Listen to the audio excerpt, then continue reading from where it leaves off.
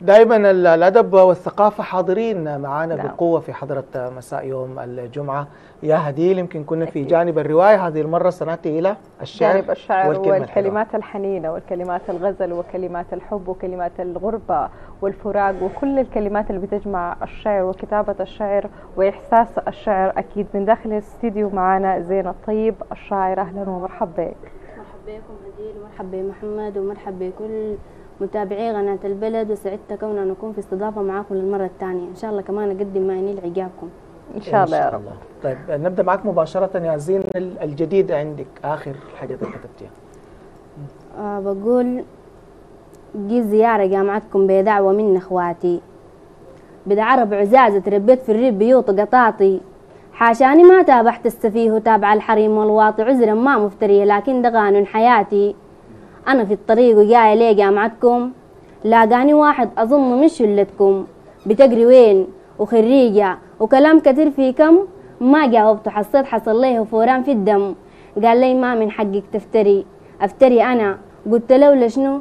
قال لي متخصص إنجليزي وخريج السنة وما من حقك تفتري علي يا بتنا شايفاه جاب ليه شوية شيطنة. اتصل علي صاحبه أغاني بالإنجليزي دندنة قال له ما تقطع. احتمال تفهم حاجة مننا.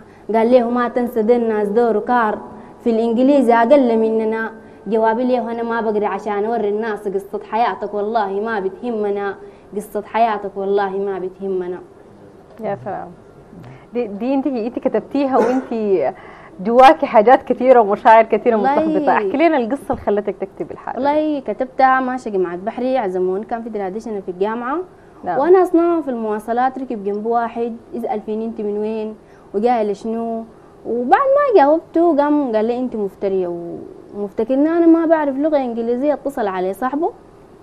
والمهم يعني نظام مسخرة وردد عليه في الجامعة بالكلام ده. نعم.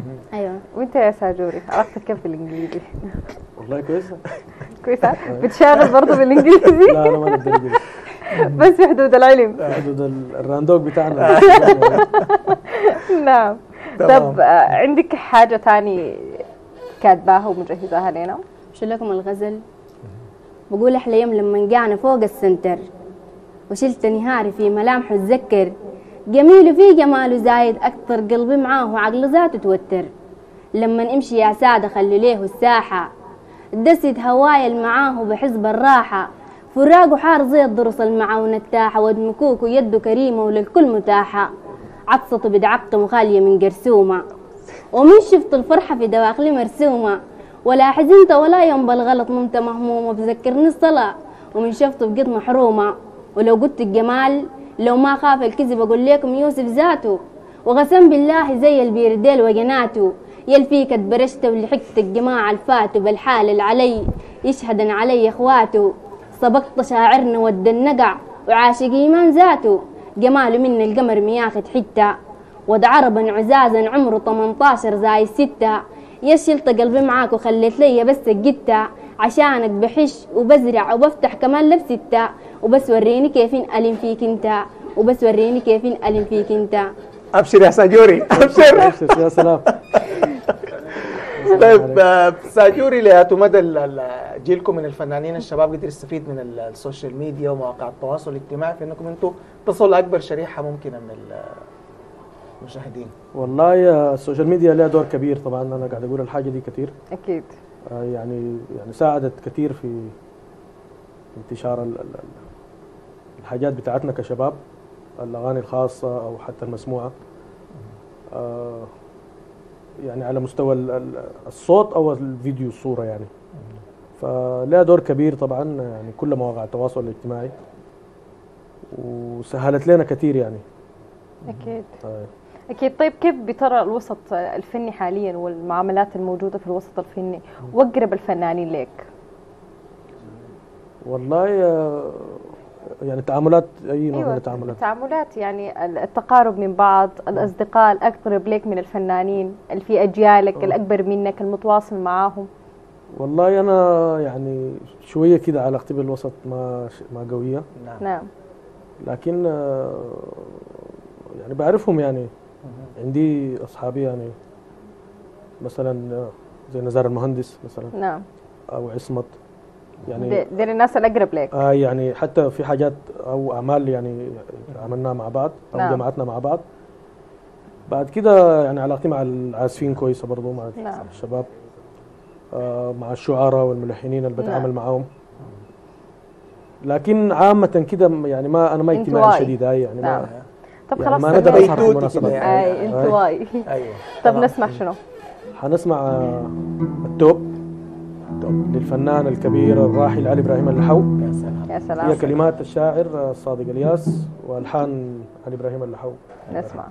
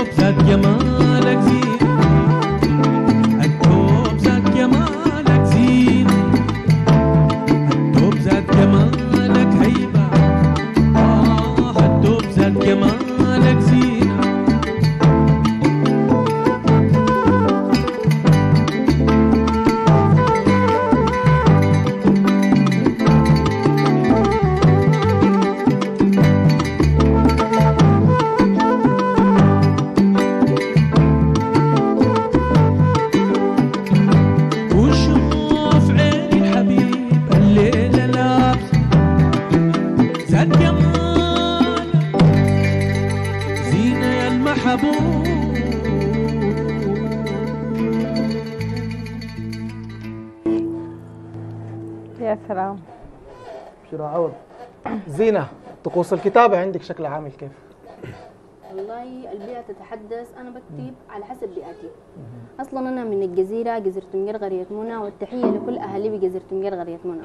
بكتب على حسب البيئة وأجعرده بيت فخر غزل هجاء يعني كل ما جاني خاطر في الشعر بكتب ما بتأثر. أديتينا هجاء أديتينا غزل أدينا فخر هسه بقول لو قالوا العرب بقوم وبرفع يدي مبسوطة. قسم بالله الحارة نحن ما منفوتة. أهل سروا وقلبي في بيوتنا مربوطة وما بنخاف وين ما فطنا من جوطة. نحن بلد السمك واللبن والجبنة. وكرم الضيف من عد واجب من واجبنا. لو داير تقيس رجالتنا وتختبرنا أغلط معانا بنحرقك حي أو معاك حرقنا. نحن أجدادنا شارك في معركة الشيكان. ومن الغرنا يا سادة الأمن السودان؟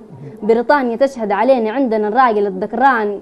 وما عندنا راجل بيرفع يده على النسوان. صحيح نحن عرب وناكل ملاح اللبن والويكا وملاحنا آخر له من عربية بيشيكا. ساحة المحن والمصايب تجيكا. نحن يا بلد بأرواحنا نفديكا. نحن يا بلد بأرواحنا نفديكا. ابشري اي أي زول بيكتب شعر. زول بغني عنده كيف معين عنده مزاج معين بيهيئ نفسه عليه قبل ما يكتب قصيدة أو كله قبل ما يلم أحاسيسه ويكتبها مفرد الطقوس اللي أنت بتعمليها قبل الحاجة دي شنو؟ والله أنا احتمال أكون بقرأ عادي يجيني. يجيني إحساس إنه أكتب شعر في الغاعة ماشيه في الطريق في مواصلات ما بتأثر كنت زمان بتأثر لكن هسه عادي بمارس المهنة دي يعني لكن أكتر شعر بكتب بالليل الشعر يعني من الساعة 3 ولفوق أنا احتمال اصحى اكتب شعر عادي بس ده التوقيت بتاعك ده, ده, ده الوقت أكتر- المناسب. أكتر وقت أيوه. أكثر أيوه. حاجة بتكتبي شنو؟ غزل فخر أكتر شيء غزل بنبرش. من براشات طيب إنبرشي هسه بقى قصيدة ثانية. برش لكم. بتقول ما تزعل لو قال لك الزينة بقت مخطوبة. أو سمعت حفلتي بمنال البدري أو الدوبة يلفك حاربت أولاد عم وواجهت كل صعوبة عشان بقيت جلابي. تقول لي وداعني المحبوبة. أديتني وعودي ليها ما أوفيت. تكوني حلالي وتكوني ليست بيت. عشان بقيت جلابي ليه مشاعري ما راعيت قسم بالله تاني في حياتي ما طليت. وفي وضحت له ليه شخصيتك اتناسيت. سألت اللبن برجع درعه قال لي ما ظنيت. قلت له لا بغرن قروشك ولا شيكاتك. والف سلامة على المصيبة جاتك. جاني الخبر فقدت نص أملاكك ما حزنت عليك مبسوطة وحاتك. جار الزمن والغدر بالصدفة جمعنا ودي حقيقة بقولها لكل زول بيسمعنا. قال لي عودي حياتي حياتي بدونك ما لها معنى. قلت له نفس الصديق طلقة واخش السجن عادي إيش معنى؟ قال لي شايفك عبرت وعملت لك جمهور وبقيت أحلى من بنات الحور. قلت له خلي كلامك الكل زور واتذكر ساعة بقيت علي مغرور واتذكر ساعة بقيت علي مغرور. ال- يا سلام. الزينة. آه، يعني والله استمتعنا جدا بال- بالقصايد وشرفتينا ونورتينا اليوم. نتمنى لك إن شاء الله ال- التوفيق إن شاء الله. ونشوف عندك برضو آه، قصايد مغناة يغنوها ناس ساجوري وكل الفنانين إن شاء الله. عندي أعمال. مع الفنان محمود الحجاج. إن شاء الله حتطلع من قريب. إن شاء الله الله. كل التوفيق لك. شكرا لك. من هنا. تسلم. له تحية كبيرة جدا. شكرا لك كثير الشاعر الجميل الزين الطيب علي ساجوري شرفتنا ونورتنا كثير. استمتعنا. محمد. أنت والفرقة الموسيقية الجميلة بقياده الاستاذ عوض حمودي وشاذلي والهادي ومليجي وعاطف الموسيقيين والاساتذه الفنانين الكبار اللي دائما بيبدعوا بيمتعوا لهم دور كبير جدا وسام كبير جدا في هم الأساس. نعم ال- أكيد السوداني. حتختم لنا بشنو يا ساجور؟ آه حنسمع آه، غزال البر يا راحل. للشاعر آه، عبيد عبد الرحمن الحان كرومة. نسمع. نعم نسمع. مردوم مردوم